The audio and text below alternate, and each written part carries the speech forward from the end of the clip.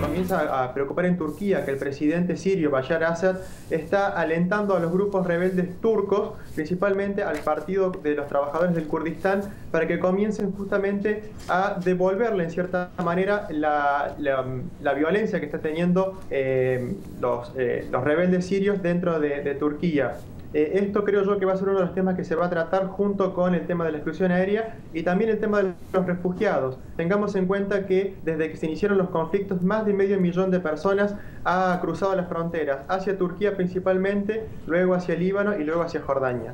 La situación se calienta un poco porque China y Rusia teme que los Estados Unidos, ahora junto con eh, eh, Francia e Inglaterra, empiecen con una zona de exclusión aérea que signifique después el aumento, la militarización de este conflicto a niveles eh, que no se han visto todavía. Así que la situación en ese sentido está sumamente tensa. Ahora, hay palabras muy interesantes del vice primer ministro Kadri Yamil, que en estos días ha dicho de que Azar quizás estaría dispuesto a renunciar siempre y cuando haya un diálogo o una conversación con la insurgencia, si tiene que parar las hostilidades para entonces discutir eh, una posible renuncia de Bashar al-Assad.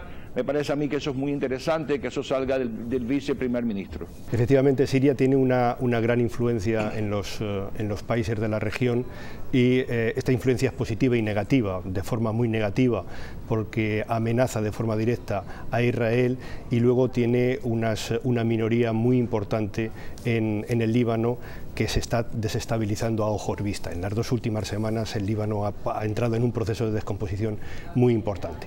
También, como ha dicho el profesor anteriormente, eh, Siria está eh, alertando y armando, eh, incluso desviando dinero para milicias en, en Turquía.